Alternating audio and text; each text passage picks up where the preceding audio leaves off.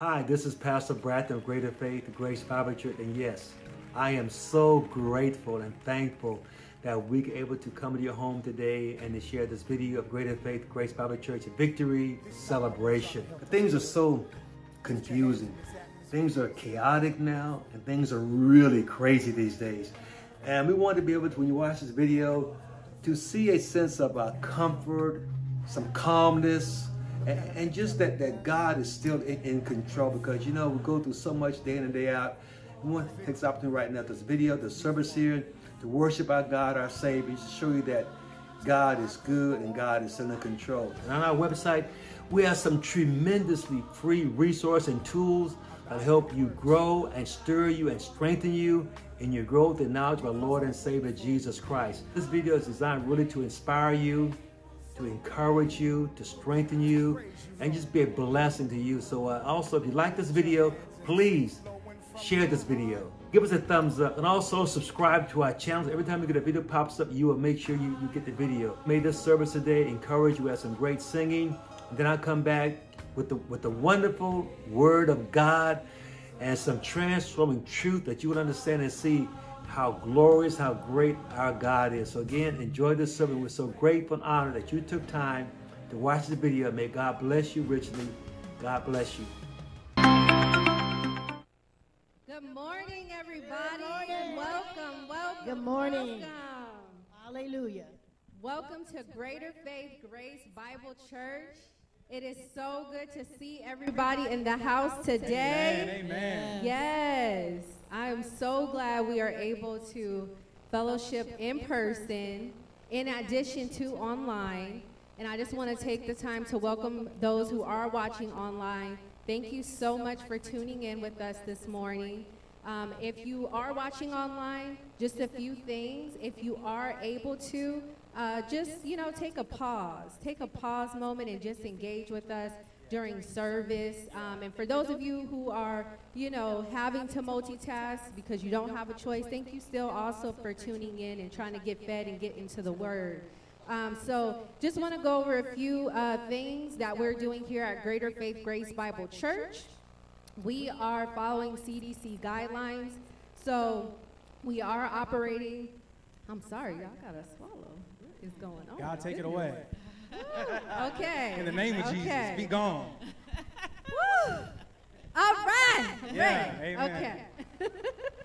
um, so, yes, we are following CDC guidelines. So, when you do sh show up here, we are doing temperature checks at the door. Uh, we also have face masks, so in case you forgot yours in the car or whatever, we have face masks for you as well. I wear a face mask. We're all wearing face masks in here. It's just y'all wouldn't be able to hear nothing I'm saying. Um, so I just want to make sure you guys can hear all this good information. And not only that, we are operating um, at a 25% capacity, so we are not packing out the house, so that way we are able to do proper social distancing. We have markers on our pews, so that way people know, um, you know, the proper amount of distance to sit. We also have hand sanitizer stations all over our church, and we are doing our due diligence in making sure we are cleaning and doing proper sanitation protocols because as much as we are thankful to have, you know, technology, we're in the 21st century, there is nothing like human connection. Amen. And so in order for us to continue to have this connection, we want to follow the guidelines of, of the state um, so that way we can still come together in person to worship and hear the word, all right? Um, so I just want everybody to take a moment and just, you know, do a friendly social distance way to your neighbor. Say, hey, neighbor. Hey, neighbor. All right. So not only are we, you know, trying to keep a friendly and safe environment for you guys to hear the word, we want to be able to provide benefits for why you would want to come in person to hear the word, why you would want to engage online for those of you who have ailments or who may not feel comfortable during this time to come, you know, because of COVID. So why come to church or why watch online? First of all, is to learn. It is so important to learn. And it's just like when we go to school, we go to school to learn about different subjects. So when it comes to Christianity or just, you know, your faith or the Bible, it's important to engage with those who are teaching the Bible, those who are teaching what the Christian faith is. Not only that, it's good to learn how to read the Bible, but when you connect by going to a service or whether you're, um, you know, engaging online, you'll be able to learn how to apply the Bible in your lifestyle. And when I say lifestyle, I mean how do you make life decisions? Being able to learn how to make li- life decisions from a biblical perspective. Not only that, knowing truth. How are we able to know the truth in the midst of our ever changing culture and times? In addition to that, how to grow in character. Because let's be real, we all got failures, we all got some sins, we all have weaknesses, and the goal in Christianity is for us to look like Christ in our character, in how we think, in how we talk, and how we interact with people in different contexts of our lives, right? So when you connect to a church, whether it's online or whether it's in person, you are going to learn how to apply the word in your lifestyle to see change, to see growth, to get understanding. Because, yeah, the Bible is a phenomenal, phenomenal um, book of truth. But it's important to know why. It's important to get those answers, those, those doubts, those, those gnawing questions. Because no matter how long you've been a Christian, or whether you're considering Christianity, or whether you're a new Christian, we all have questions that it's like, God, I don't know about this. I need some more understanding, you know?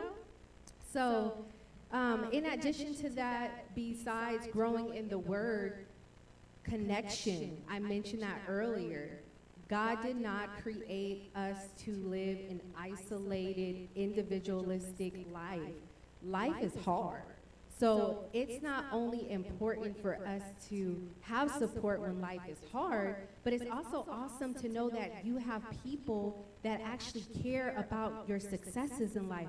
Be able to celebrate the highlights and the joys in your life, but also be in the trenches with you when life is throwing some things that's like, God, I don't know about all this, okay? So how to connect more with Greater Faith, Grace Bible Church, so that way you can be able to receive those benefits that I was letting you know. So we are a, you know, tech, technologically advanced church, so we are online. And we are on social media platforms such as Facebook and Instagram. And you can follow us at GFGBC Rialto. So that way you can connect with us online. And in addition to a service on Sunday, you can continue to connect with a group of people um, from our church. Because let's be real, Sundays are great. It's a great foundation for your week, but life happens every single day. And sometimes it's easy to forget the word that you heard on Sunday, so it's good to stay connected throughout the week.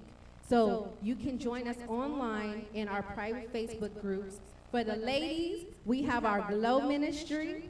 So you can connect with our private Facebook group, Glow, because we is glowing up, okay? And then for the men, we got something for y'all too. Oh, oh, men, oh. let, come on, that's right, represent, represent. It's not just ladies that get together. Y'all men be getting together. Y'all be talking about sports. Y'all be talking about man things and all that too. So we have a men's group on Facebook for you called Ma- Mafia. Oh, that sounds like a what? Okay.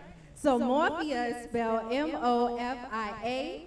And for our youth, we definitely have something for you. So we have two groups. We have youth, and then we have one that is joy for children.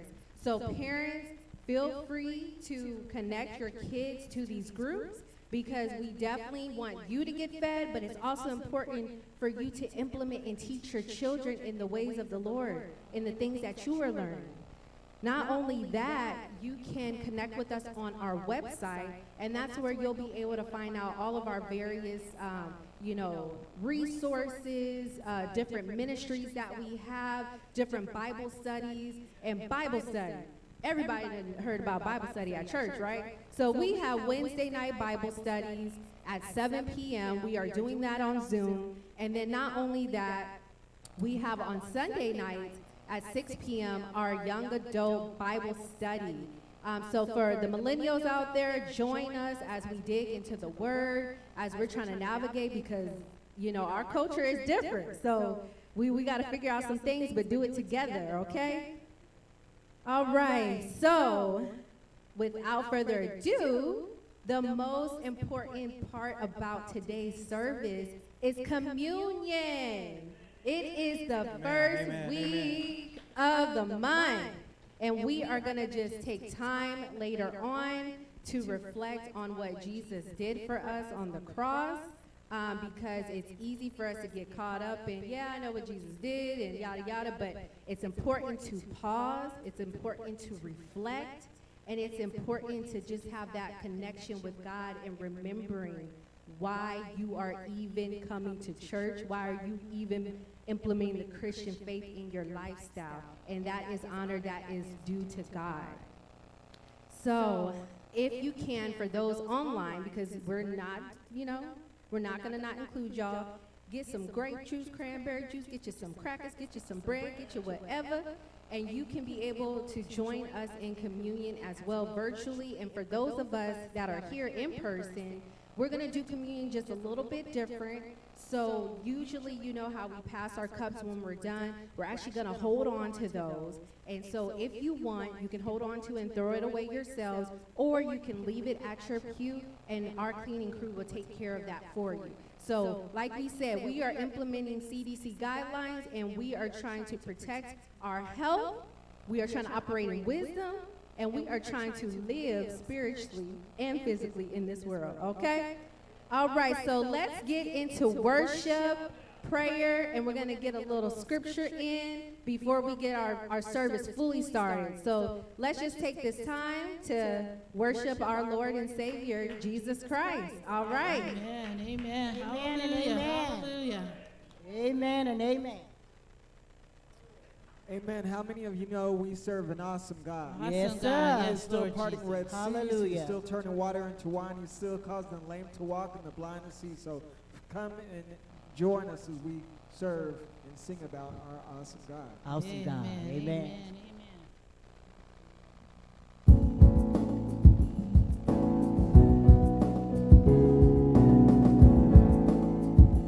You're able to, can you please stand up with us, please? This, this, we would just love that. We all here. Let's stand up if you can. Love that. Thank you.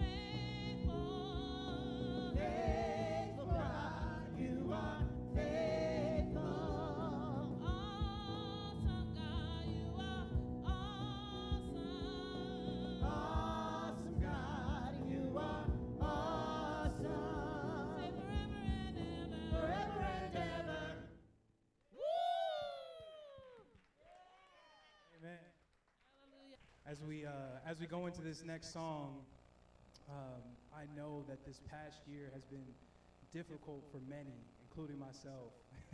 if you think it hasn't been, you're lying to yourself. And we don't have to put that smile on our face, but we have such a good and such a great God.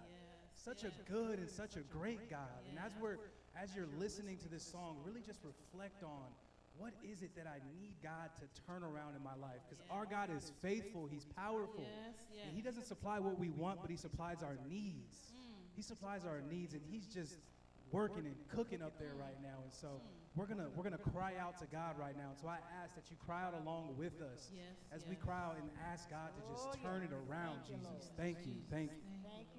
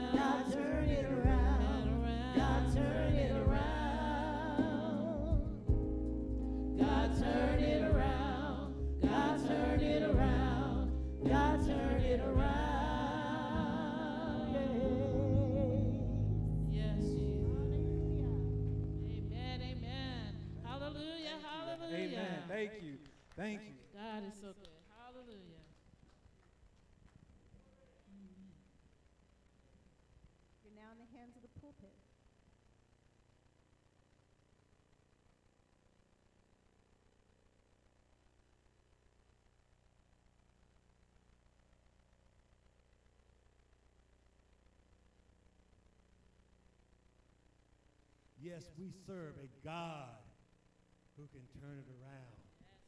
Who can turn it around, amen. Breakthrough will come. We serve a God who can turn it around. All going through, God can turn it around. You know, many of you out there who are watching here on person, you have saw and you experienced how God has turned things around.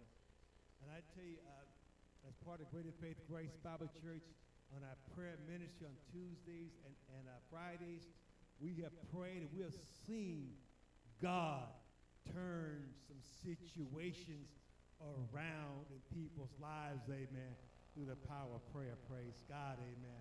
And again, I welcome all the Greater Faith Grace Bible Church family here today and to all those who are watching online.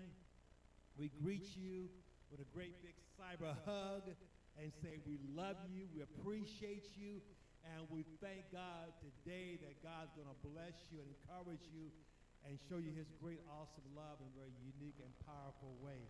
Amen. And I was behind every mask, I'm praying that there is a smile. Amen. There is a smile behind every mask today. Praise God. And we're going to just God give God the glory and the praises today for who he is and the great things he is doing. I, we thank God for the dynamic, awesome praise and worship band and the great job that they do in ministering and bringing forth songs of praise to lift our hearts each and every day. into our wonderful ushers and greeters and, and our and our ministry team, amen, our media team, amen, to our to our welcome person, our sister Brittany Abraham, God bless you. Great job uh, welcoming into the service, amen. Just set the tone for. We thank God for that, and uh, we're going to just delight ourselves in God today. Let's say blessing. And we said earlier, we're going to have a virtual communion today. Did I just drop my cup someplace? Did I just knock it over? Praise God. I might need it. I know. Oh, there, there it is. I think this one right here. This one right here. Praise God. Amen. This is March the 7th, the first Sunday in March, and we celebrate Holy Communion. And for those who are watching online, I pray that you've had opportunity to gather some bread and some drink that represent Christ's broken body and his shedded blood. We don't want to take this communion lightly or flippantly without a thorough examination of our hearts and lives. So often communion can become ritualistic and routine. But like I shared last week, we need to really have the right heart and the right mindset for having this here communion. It's more than just ritualistic some bread and some drink. It goes deeper than that. On first Sunday back in February, I shared with you in communion time that we take communion. He says to take it and to drink it. We as believers, when we take it, we drink of it. But if you are not right with God, you don't drink it, you spill it. You spill it. But when you're right with God, you know you are redeemed, bought by the precious blood of Jesus Christ. Examine yourself. And then when you take the cup, drinking it.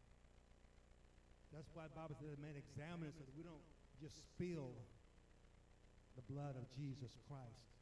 Amen. And then the, the, the Bible tells us to drink ye all of it. Drink ye all of it. And that means all that's in the cup, we drink all of it. So when you drink of the cup, think I'm drinking all of God's love. I'm drinking all of God's mercy. I am drinking all of God's goodness. I am drinking all of God's power. I am drinking all of God's grace, His goodness. I am drinking all of God's healing power, all of His restoration. I am drinking all of it. All of it.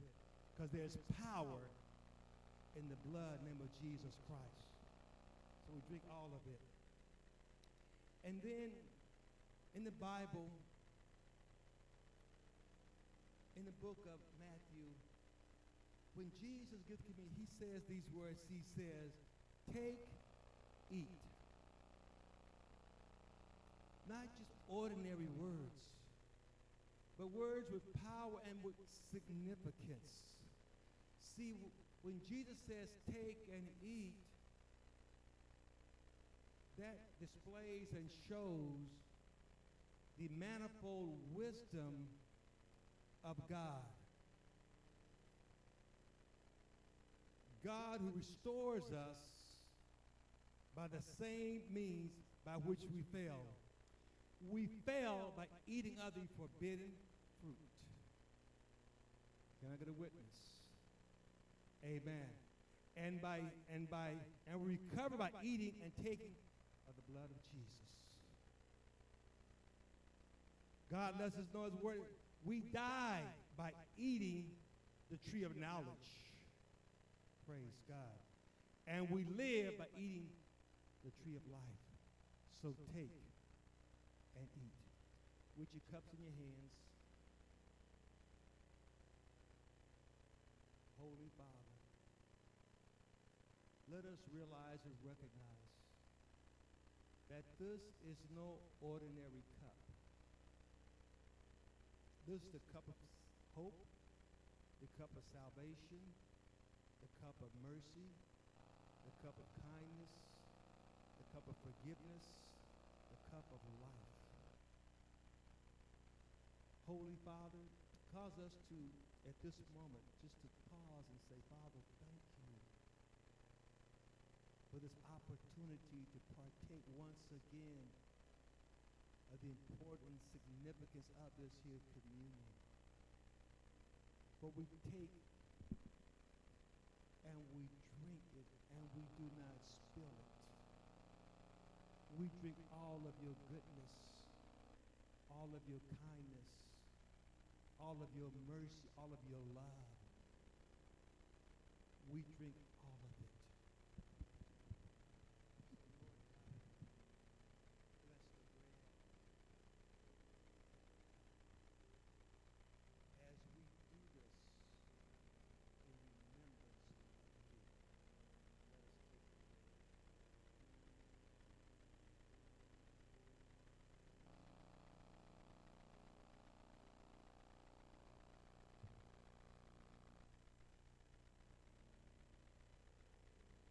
Let us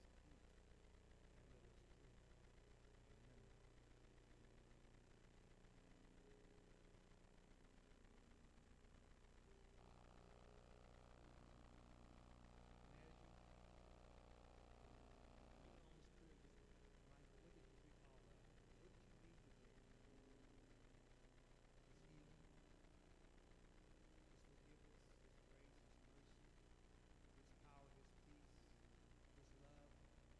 Remember.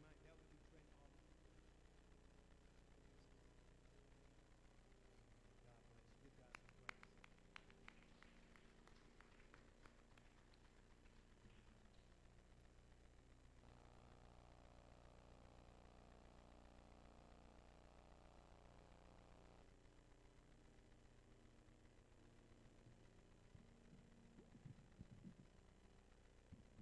Well, today, my beloved brothers and sisters, we're going to conclude this part three from grief to gladness, bereavement to betterment.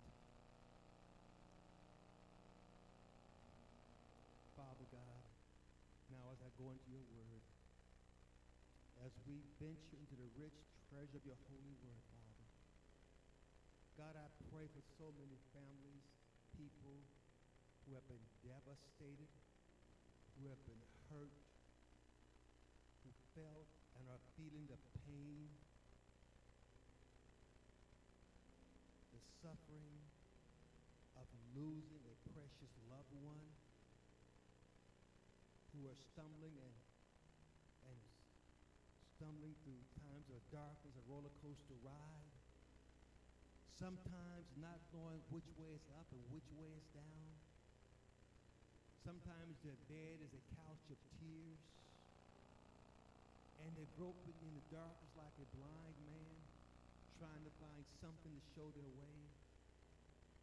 And I pray, God, amidst their pain and hurt, that these messages have been able to share some of the light and the love of Jesus Christ upon their heart, their situation, that they will acknowledge their weaknesses, acknowledge your pain, and find refuge in Jesus, the Christ, the Son of God. And I just pray, God, that it'll be able to go from bereavement to betterment, Lord God, in a very unique and powerful way. So, God, I just pray that this closing message would resonate in someone's heart Or help them and guide them, not only their lives, but lives those around them. This I pray in Jesus' name. Amen. Amen. Amen. Amen.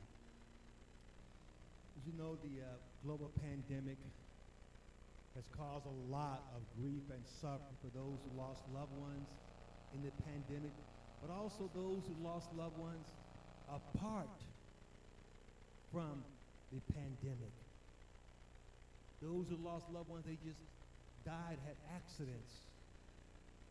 Those who lost loved ones just during this whole time are still, the pain is deep and it's great. And there's all kinds of losses that brings grief and sorrow. And, and uh, loss is painful. And you grieve over so many different kinds of losses.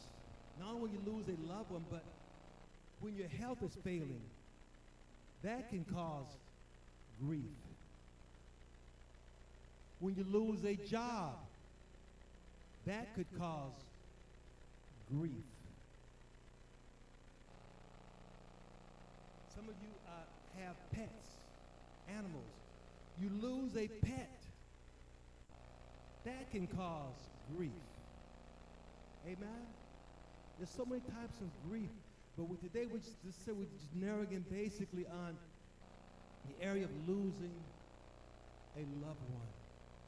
And I'm only touching on the, uh, the tip of the iceberg of the grief process and what it's like. It's individual and it's painful. So today, as I close this three-part series, from, from grief to gladness, from bereavement to betterment, I really pray that those who are watching on live stream or Facebook and those here in person, I really pray that God has used this message as a means and a method to help you and help people that they may know that God understands, God understands your grief and your pain and has a divine plan to take you from grief to gladness, bereavement to betterment. See, God loves us so very much and is so merciful and so kind to us that he does not want us to get stuck in chronic or prolonged, incomplete, or repressed grief. God has given us his wonderful word that says, Your word is a lamp unto my feet and a light unto my pathway. God wants to be a light to the dark of your grief and light your pathway. And he says, He sent his word and healed them and delivered them from all of their destructions. Psalm 107:20. God sends his word in the midst of your grief to heal you from your pain and your sorrow and deliver you from your destruction of depression, anxiety, stress, and all that stuff that will wear you down. He wants to deliver you. And today, with the help of the Holy Ghost, hallelujah, Holy Spirit, I'm going to be able to unload and unpack four accounts or narrative stories about grief that took place in the Old Testament. And I'm going to give them about those four names or titles or uh, ways of trying to describe this grief, amen. And these uh, titles are not conclusive or exhaustive. And then I'm going to wrap it up with some application actions that will bring about some transformation from grief to gladness, from bereavement to betterment. Like I said earlier, most of us, we really, really don't want to talk about our mortality or death. It's not on our top of list of things to talk about. We don't want to deal with that. We want to just stick it aside. But we cannot be like an ostrich and stick our heads in the sand and say, it don't exist. We all, at some time or another, may experience, if you have not, my mom always said, just keep on living. It'll come to you, amen. It'll come to you, amen. It is inevitable. For the moment we are born, we're on our road to death. Amen. We're on our road, amen. And some roads are shorter than other roads. We're all on the road, amen. Bless God, amen. So I, am going to uh, kind of classify these three uh, uh, death, grief, into four points today. And uh, not all grief is painful, it's sorrowful. But I don't kind of just break it down. These are points, points right. Again, like I say, it's not exhaustive or conclusive. So I'm going to classify these four griefs in the Bible, these areas right. The first one, I'm going to call it gentle grief. The Pastor, how could any grief be gentle? Well, gentle grief can occur in someone's life, amen. I'll give you an example. This was how it was when Abraham died. Here's what, here's what gentle grief entails. In Genesis 25, 7, 8, it said these words right here. These are the years of Abraham's life that he lived. 175 years. Abraham breathed his last and died in a ripe old age, an old man, and satisfied with life, he was gathered to his people. That's gentle grief. And that happens to someone, that's a gentle grief. Because you know that person lived a godly life. They've served God, been faithful, they finished well, they did the will of God, they fought the good fight of faith. They made you say, what else can they do? Yes, but that's a gentle grief, amen. See, like I say, that's that godly person. That's that your grandmother, your grandmother, your grandfather, that, that person who lived a good, godly, long life.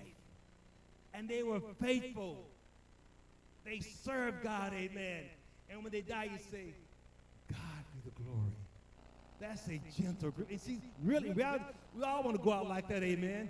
A long life, fully satisfied. We say, wow.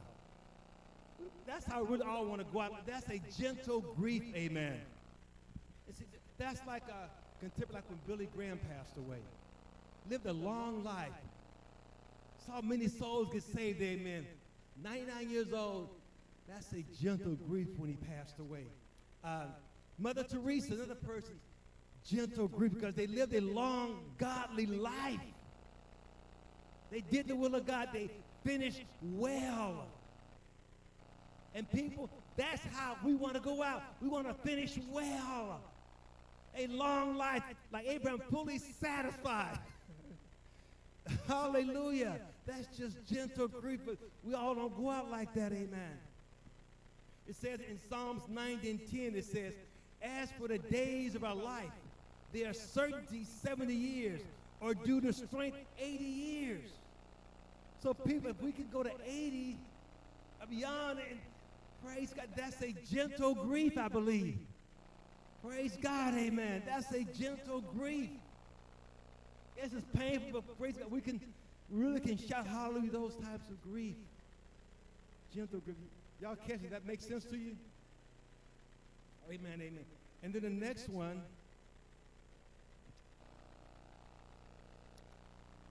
I want to title this one uh, Global Grief. Global Grief. Here's a scripture from 2 Samuel 2 11, 1 through 12. This is uh, after King Samuel, King Saul, sorry, Saul had, was killed by the Amalekites. And the story came to David that Saul and Jonathan had been killed in battle. This would happen in, in Samuel, 2 Samuel 11, 1, 11 through 12. Then David took hold of his clothes and tore them, and so did all, and so also did all the men who were with him.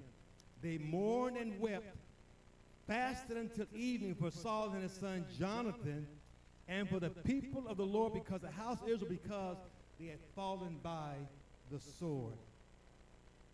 Global grief is when someone dies who was well known by people worldwide. King Saul was known throughout all of Israel, and so it had a rippling effect. Many people knew about that, amen. And, and so Saul was a king known throughout the kingdom.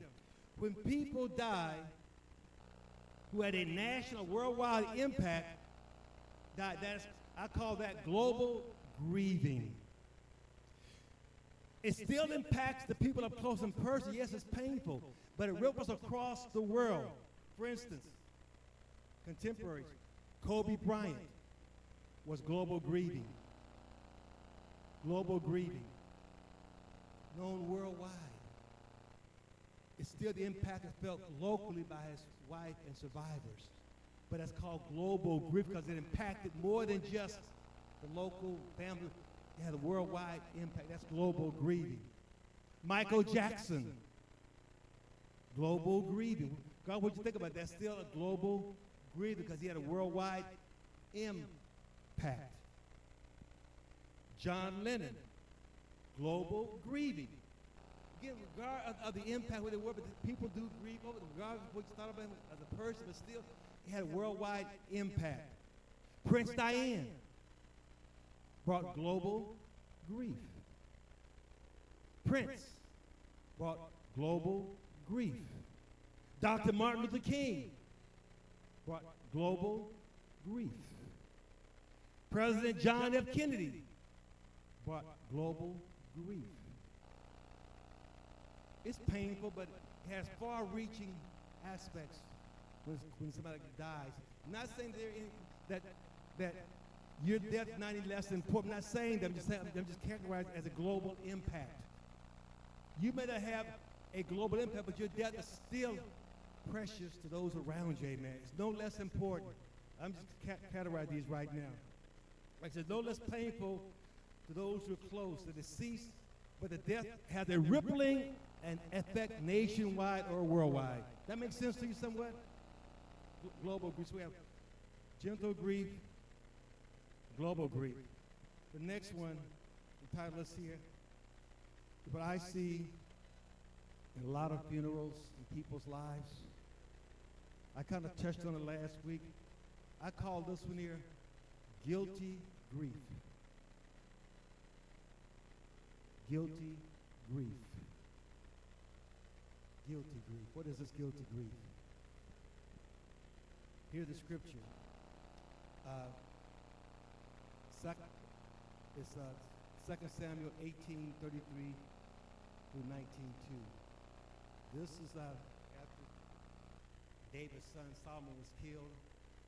The news came to him and says, The king was deeply moved and went up to his chamber over the gate and wept. And thus he says he walked, Oh, my son Absalom, my son Absalom, would I had died instead of you. Oh, Absalom, my son, my son. Then it was told Joab, Behold, the king is weeping and mourns for, Absalom. The victory that day was turned into mourning for all the people who heard of it.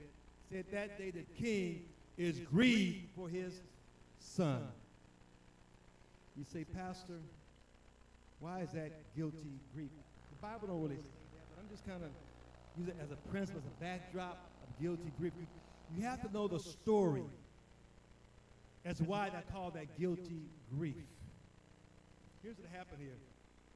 And a guilty grief is grief from unresolved conflict. Unresolved conflict. Someone precious dies and you was not, and you and that person was not on the right standing, and you know that you should have been. Here's what happened here. King David had a blended family. Absalom and Tamar had the same mother, but Amnon had a different mother. This is found in 2 Samuel 13, 1 through 2. The Amnon had a friend named Jonadab who schemed how Amnon could get with Tamar, his half sister. And so the scheme came about to where, uh, where Amnon acted like he was sick. Had Tamar come to him and says, Tamar came to him and brought him some food to uh, eat. And then what happened that Amnon, Amnon, then he raped his sister Tamar and brought disgrace upon her. The Bible holds no punches. So Amnon, he raped his sister and brought disgrace on her. And then when Absalom, Tamar's brother, found out, he began to plot how to get even with Amnon for raping his sister. And so Absalom planned to go shear some sheep. He said, David, let your, let your brother go with me. And then he told he said, now, at a certain time, I want you to wipe out Amnon. And so Absalom had Amnon killed for raping his sister Tamar, and then he fled the area. So now David has his daughter disgraced by rape, one of his sons killed, and so, so and then another son, Absalom so now he has no connection with, with the Absalom. But eventually, David was convinced to bring Absalom back home after being exiled for a while. Then Absalom comes back home, but him and his father David did not see or talk to each other for two years. Didn't even talk. Same area, same neighborhood, same apartment building, same house, just kind of exaggerate, and didn't even talk or see each other's. And then it happened then, so then Absalom began to conspire how to take a coup and take over his father's kingdom. This is 2 Samuel 15, 1 through 12. And when David heard about that, then David fled the scene to avoid a conflict with his, with his son Absalom. What happened? A battle eventually happened between Absalom and King David's men. And Absalom was killed. When David heard about Absalom's death, is when he grieved. He had lost two sons. That's why I say that was could have been guilty grieving. See the picture? See the picture, people? Some people, you, when a loved one passed away, all I remember is the last words you said. You were not nice. You was not kind. And that loved one passed away, and now you're grieving guilty. I could have said, I should have, should have did, I should have said this, you see. And that's guilty grieving. That's guilty grieving. So I would think, so David had lost two sons. And I would say David was grieving to the fact that there was unresolved conflict. That's why it's so important, people, to get things right with your family and friends. Do things right today, amen. You perhaps know someone who's watching on right now here person. You know someone who has unresolved conflict, and you that person is grieving and also the guilt of having something unreconciled. You did not get things right. So basically saying, you know, uh, uh, take care of unresolved conflict. Take care of that you never, never know when a loved one may not be seen again. The Bible, the Bible says uh, in uh, Proverbs uh, 19:11.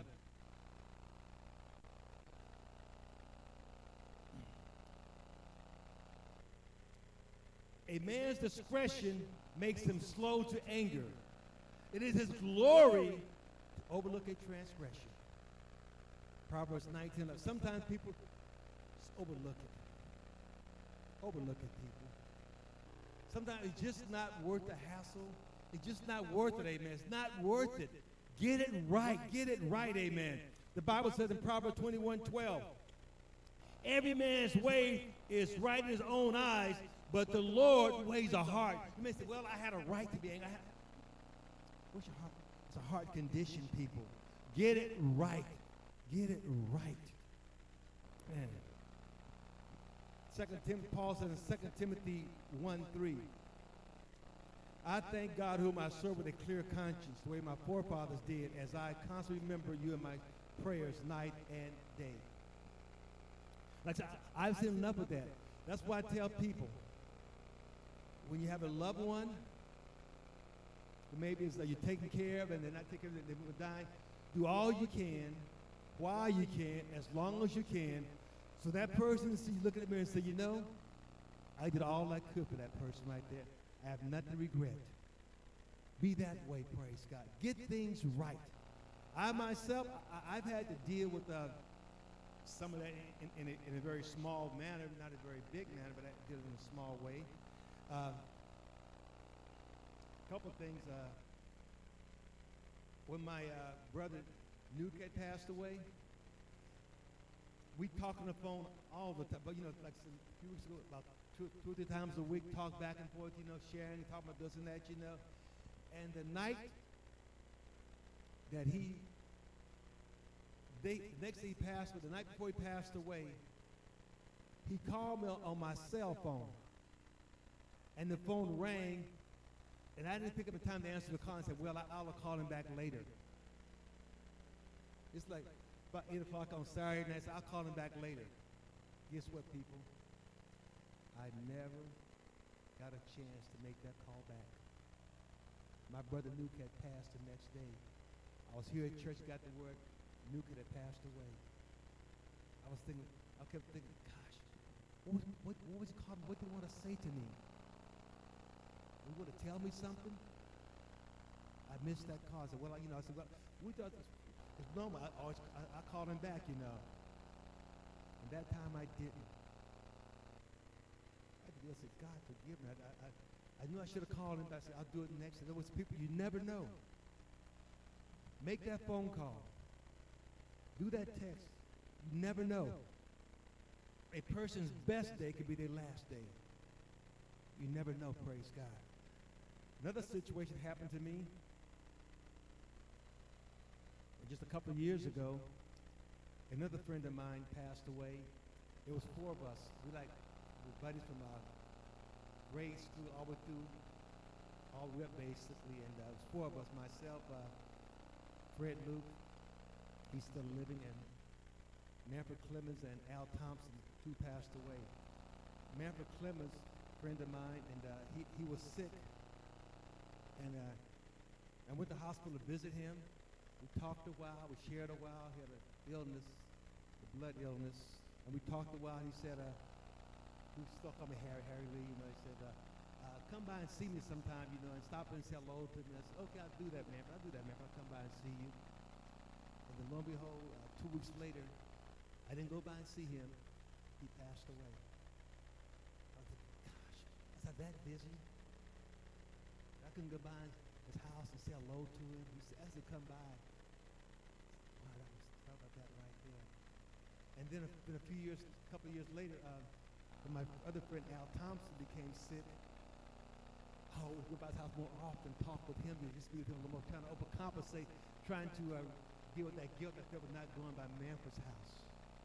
It happens, people. It happens. Do all you can while you can. That makes sense to you? Help you some, amen? And then the final one. Again, like I said, all grief is painful, all grief is personal. It's all hurtful. Well, it happens. And the last one, I would just simply title this one Great Grief. Great grief. See, people, it is plenty painful enough when you lose a precious loved one. Mother, father, sister, brother, grandfather, friend, that is painful. That's hurtful. Regardless what they are, amen. But when you lose multiple loved ones at the same time or in close succession, that can bring downright overwhelming and excruciating grief. That's great grief. When a whole family is wiped out at one time.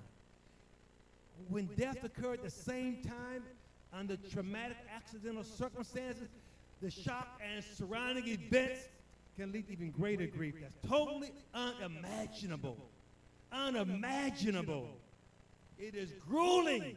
It is difficult, exhausting, it's painful. It is difficult when families lose multiple ones at the same time. And we read about those situations where a car wreck wiped out a whole family. heard about someone say, you know, uh, last week my mother died. Then two weeks ago my father died. Just bam, bam, bam, bam, bam. That is great grief, people. You hardly have a chance to get over one grief before another hits you. And the grief over, over multiple losses of your family, that is painful, unimaginable. And Job is a person in the Bible who went through that great grief. I'm not going to get into the theodicy about evil and suffering. I want you to use that as a backdrop. Job had Job 1, 2, and 3. 1, 2 says, Seven sons and three daughters were born to Job. He had a large family, ten children. And then notice, then what happened, read the book of Job, the Old Testament book called the Book of Wisdom. You're going to read chapter 1 and chapter 2, you find out devil came, appeared to God, wanted to test Job and see how good, righteous Job was. And God said, Job, you, God told Satan, you can do everything, but do not touch his life. And then Satan began an, an all-out aerial assault upon Job. And so what happened was is uh, things began to happen. Happen fast and quickly. Let me just share that with you.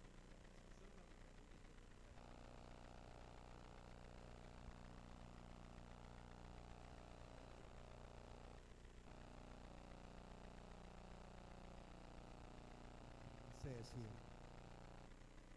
Job, chapter 1, verse 12.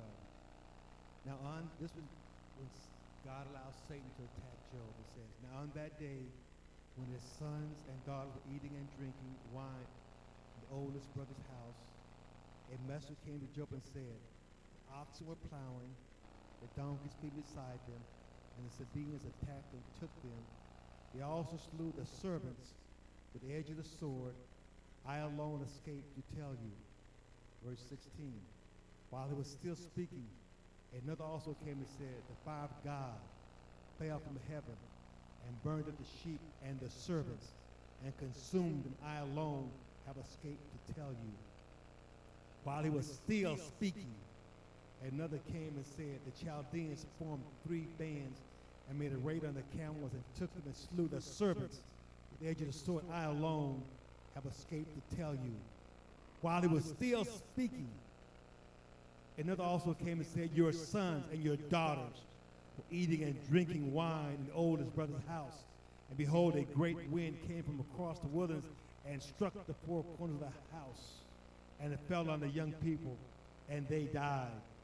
And I alone have escaped to tell you.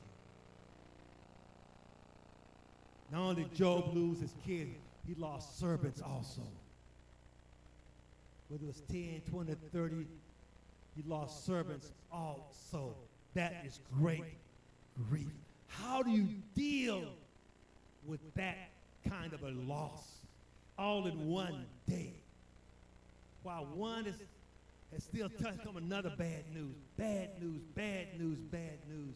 That is great grief, people. That is great grief. And somehow under the Job they would say, the Lord gives and the Lord takes. Blessed be the name of the Lord. It would take, it. I don't know, people, could you be able to say that if that came to you that way? You may say, you know, I can say that yeah, because it hasn't happened to you. Let it happen then, could you say it then? Hmm, Oh, you didn't say it right because you're not dealing that right. Oh, yeah, I can say that. Yeah, I can say that. But let it happen. And then see what you can say. You can say that, blessed be the Lord. Lord gives, the Lord takes away, and he worshiped God. I know of two families that unfortunately experienced lossing of multiple loved ones the same incident. One family that I miss right now, Dorothy and Benita Smith. Several years ago, they lost nephew and niece, two little babies, in a fire. Little children. I did the funeral service that too. Lost two at one time, two little children. And then my aunt, several years ago, back in the 80s, she lost her daughter and three grandchildren at the same time in a house fire. That's great grief, people. Any grief is hurtful. Anyone loss is painful. But when you lose multiple ones at the same time, how do you address, how do you deal with it? How do you process that? And I always remember my auntie saying, Harry Lee, I hope no one have to go through seeing multiple caskets at one time.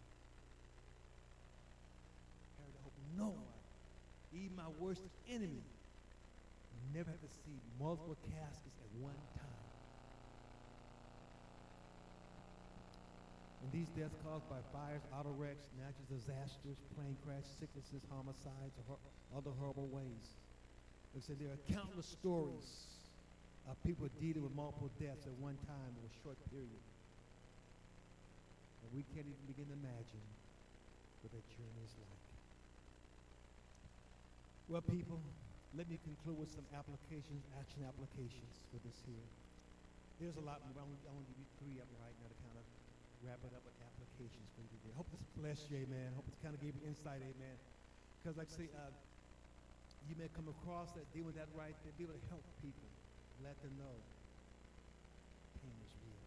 Number one, number one, we have to learn in the midst of our pain, losing a loved one, to accept God's grace. Accept God's grace. Accept that your loss offers you sometimes a brand new understanding. And be able to trust God with all of your feelings and thoughts, even the negative, one, even the ones that you don't want to think about. Trust God with it. If you are struggling with your faith, just cry out to God. Cry out to God. God is big enough. God is strong enough to handle your crying, your weeping. Accept God's leadership and, and let God just hold you and, and just take care of you, amen. Ac- accept God's peace and God's comfort. Accept God's grace, amen. Isaiah 61, 1 through 3 says, The Spirit of the Lord, the Spirit of the sovereign Lord is upon me. For the Lord has, has anointed me to bring good news to the poor.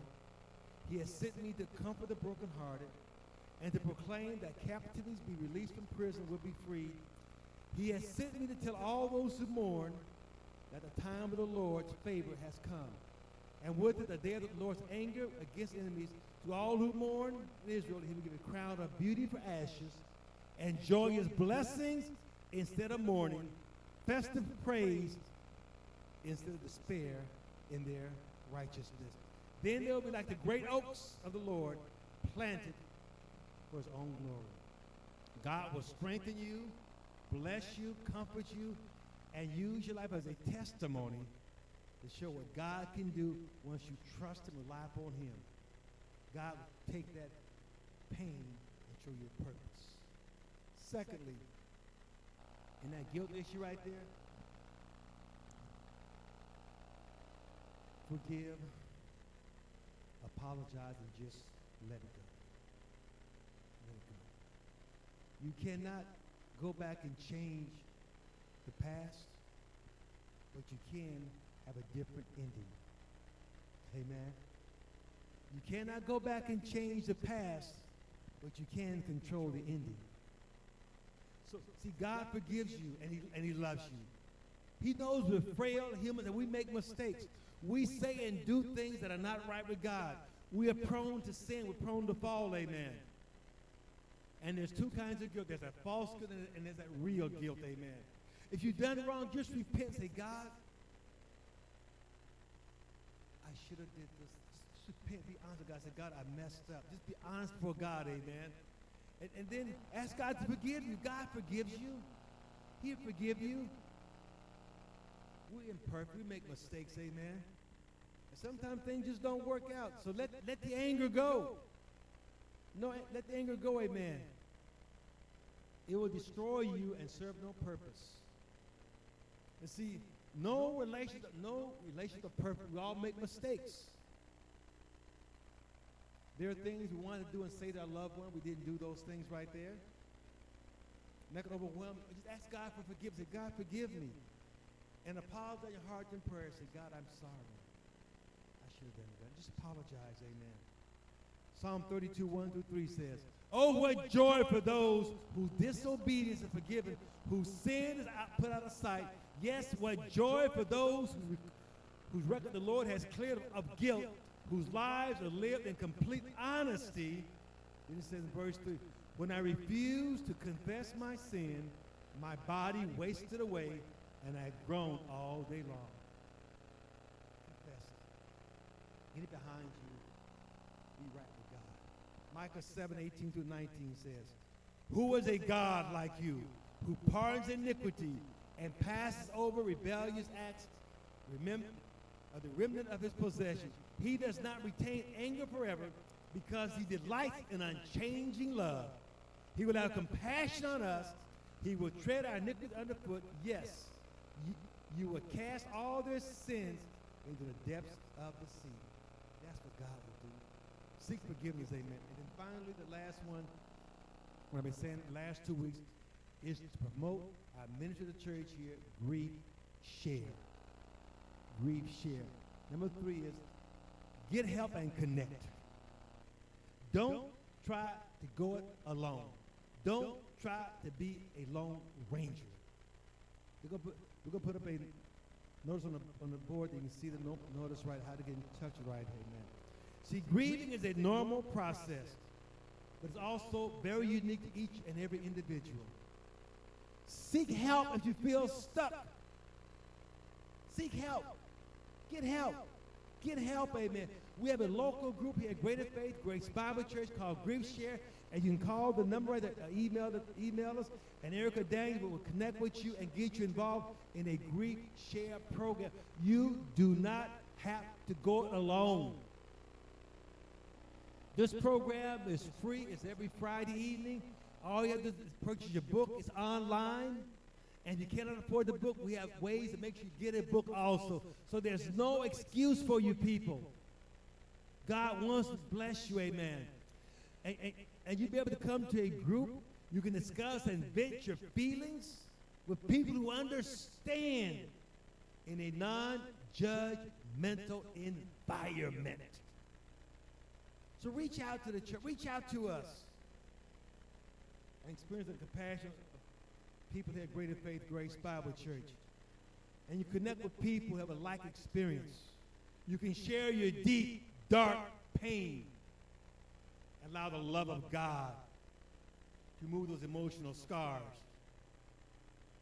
and get you from grief to gladness, from bereavement to betterment. So don't go through it alone. But what condition is, seek help from the Lord.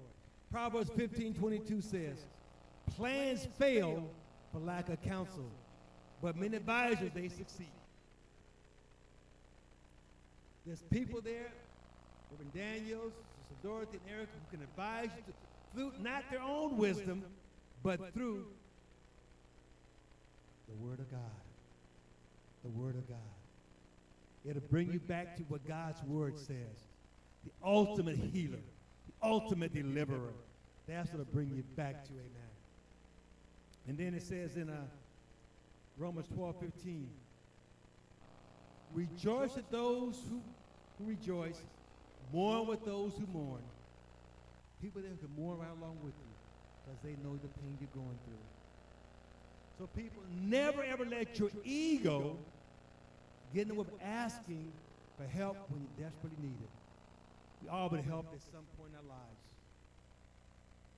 Don't be silent. Here's a quote by um, Henry J. Nouwen. He says, "The friends the friend who can be who can be silent with us in a moment of, of despair, confusion, who can stay with us in our grief and bereavement, who can tolerate not knowing, not curing, not healing, and face through the reality of our powerlessness.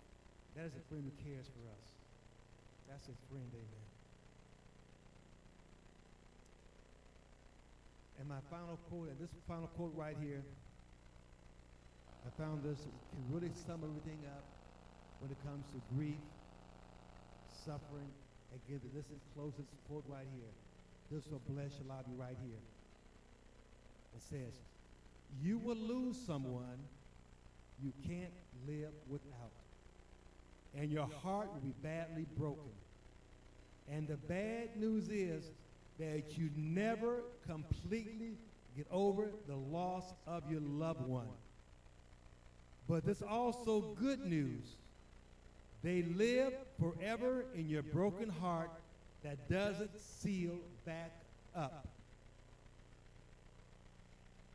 And, and you come through, it's like, listen carefully, it's like having a broken leg that never heals perfectly.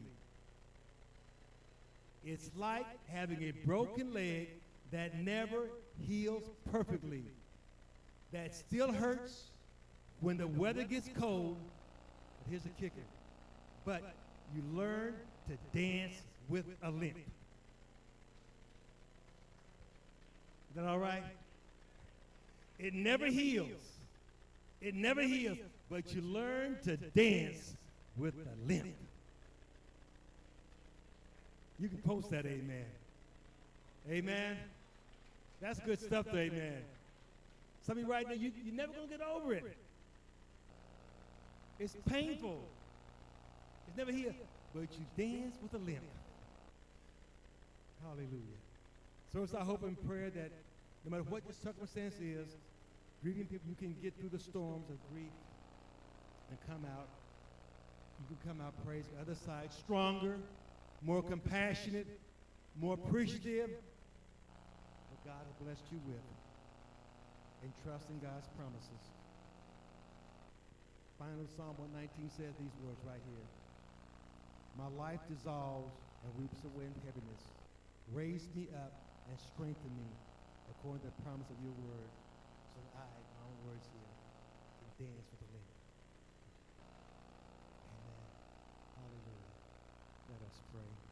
Heavenly Father, you are a good God. There's so many people out here today. They're going through such grieving and difficult stage of life. Some are just recent, some have been years past, and they still have not been able to adapt and adjust to the life without their precious loved one. Sometimes overwhelming toward them, Father. But God, let them know, Father, you will bring them from grief to gladness and grief to gladness. Just trust in you, Father. And they'll never completely heal, Lord God. Lord God, speak and let them know they'll be able to dance forever, even with a limp. I pray this in Jesus' name. Amen. Give God some praise. Amen. Give God some praise. Amen. Amen. Hallelujah. What I just said today, for those who are watching here in person, you may be surprised. "What- does all it mean? Well, it means nothing unless you have first have an intimate, personal relationship with Jesus Christ. Because to the natural man, this seems like foolishness. Unless we're born again, we know who God is and what God does. Amen. We know how to trust in the living Lord of the universe. We know who God is. I, I ask you first of all, simply come to Jesus. Acknowledge him. Let him be the Lord of your life. Let him lead you and guide you. What, does- what does that mean? It means simply that I'm going to repent of my sins. I'm going to believe in Jesus Christ. Because one day I tell you people, you'll learn that Jesus Christ is the resurrection and the life. Believe in him, you will never die. You will always have eternal life in your life. Amen. What does it mean repent? Say, God, I'm lost. I'm a sinner. Forgive me of my transgressions, my failures, my flaws, my faults. I want to come to you and surrender my life to you. Simple as that, listen, God forgive me.